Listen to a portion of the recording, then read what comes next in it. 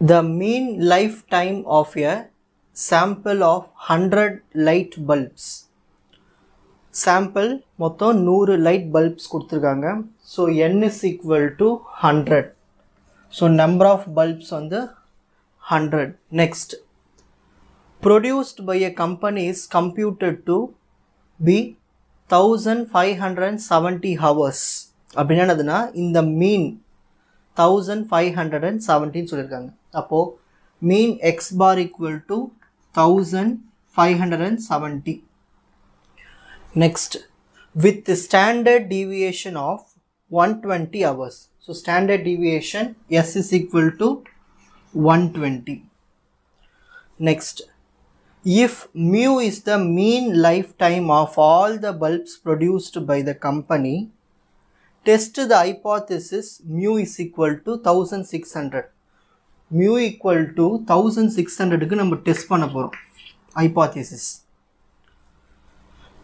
Against the alternate hypothesis mu is not equal to 1600 so equal to test பண்ணோம். அகைன்ஸ்டா alternate வந்து thousand six hundred not equal so ரெண்டு mu கொடுத்துருக்காங்க. ஒன்று thousand six hundred இன்னொன்று not equal to thousand six hundred with alpha. Alpha value கொடுத்துட்டாங்க. Zero point zero five zero point zero one. So ஆல்ஃபான்னு என்னதுன்னா அவங்க கொடுத்துருக்கிற அந்த level of significance zero point zero five எப்படி எழுதலாம்? ஃபைவ் பர்சன்டேஜ்னு எழுதலாம். ஓகேங்களா? அதே மாதிரி ஜீரோ பாயிண்ட் ஜீரோ ஒன் எப்படி எழுதலாம்? ஒன் பர்சன்ட் அந்த டேபிள் படிச்சிருந்தீங்கன்னா புரியும். ஸோ கிவன் எடுத்து எழுதியாச்சு step one next step two assume இது பேர் நல் ஐபாத்திசிஸ் ஹெச் ஜீரோனா நல் ஐபாத்திசிஸ் நல் ஐபாத்திசிஸ் ஸ்டார்டிங் என்ன கொடுத்துருக்கான்?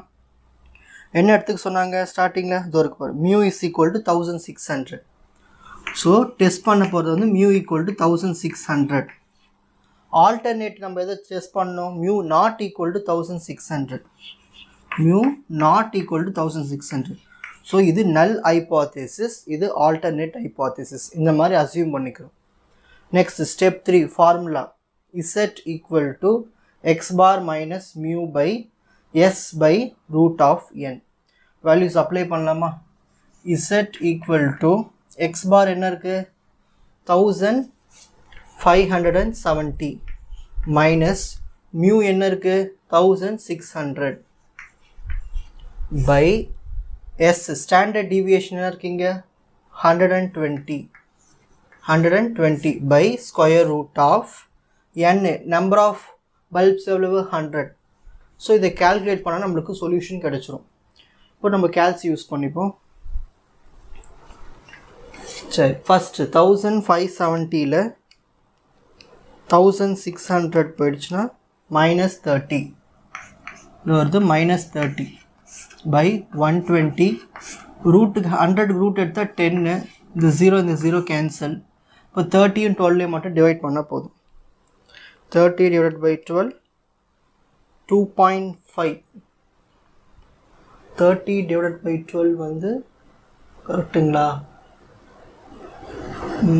Okay so minus two point five minus two point five okay correct so calculate Z பண்ண வேல்யூ எழுவதற்கு மைனஸ் டூ பாயிண்ட் ஃபைவ் இதை வச்சு தான் நம்ம டெஸ்ட் பண்ண போகிறோம் லாஸ்ட் ஸ்டெப் ஃபோர் கன்க்ளூஷன் வரும். கொஷினில் என்னென்ன கொடுத்துருக்காங்க? Alpha zero point zero five zero point zero that means five percentage one percentage இந்த ரெண்டுத்துக்கு தான் நம்ம டெஸ்ட் பண்ண போகிறோம் ஏற்கனவே ப்ரீவியஸ் ஸ்டார்டிங் இன்ட்ரோடக்ஷன் வீடியோவில் நான் ஒரு டேபிள் ஒன்று படிக்க சொன்னேன். ஆல்ஃபா ஈக்குவல் டு ஃபைவ் பர்சன்டேஜ்க்கு என்ன வேல்யூ வரணும்? ஒன் பாயிண்ட் நைன் சிக்ஸ் தான் வேல்யூ இதுதான் table value one point nine six தான் வந்து table value next alpha equal to one பர்சன்டேஜுக்கு டேபிள் வேல்யூ என்னது? டூ பாயிண்ட் ஃபைவ் எயிட் இது நீங்கள் மெமரைஸ் பண்ணிக்கணும்.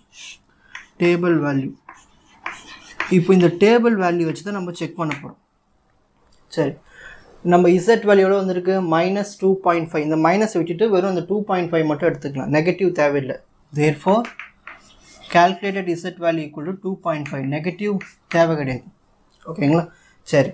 இப்போது நம்ம கேல்குலேட் பண்ண இந்த Z value two point five two point five இங்கே டேபிள் இருக்கிற value one point nine six நம்ம கேல்குலேட் பண்ண இந்த டூ பாயிண்ட் ஃபைவ் வந்து இந்த ஒன் பாயிண்ட் நைன் சிக்ஸை விட கிரேட்டராக இருக்குது கிரேட்டராக இருக்கிறதுனால நம்ம இந்த ஃபைவ் பர்சன்டேஜுக்கு ரிஜெக்ட் பண்ணிடுவோம். ஸோ ரிஜெக்ட் நல் ஹைபாத்திசிஸ் அப்போது ரிஜெக்ட் பண்ணிவிடுவோம் நெக்ஸ்ட் இங்கே நம்மளுக்கு என்ன வேல்யூ கிடச்சிருக்கு? டூ பாயிண்ட் ஃபைவ் எயிட் ஓகேங்களா? நம்ம கேல்குலேட் பண்ண value two point five so two point five is less than two point five eight two point five எயிட்டை விட இந்த டூ பாயிண்ட் ஃபைவ் கம்மி தான் ஸோ அதனால் நம்ம அக்செப்ட் பண்ணிப்போம் அந்த ஹைபாத்திசிஸ் நல்ல ஹைபாத்திசிஸ் ஸோ ஒன் பர்சன்டேஜுக்கு தான் நம்ம அக்செப்ட் பண்ண முடியும். ஃபைவ் பர்சன்டேஜுக்கு அக்செப்ட் பண்ண முடியும் ரிஜெக்ட் பண்ணியாச்சு. இதுதான் கன்க்ளூஷன் உங்களுக்கு இந்த கண்டென்ட் ஈஸியாக புரிஞ்சிருக்கும்னு நினைக்கிறேன். வாட்ச் அதர் எபிசோட்ஸ் இந்த appropriate playlist Fauji silver academy strength success directive வணக்கம்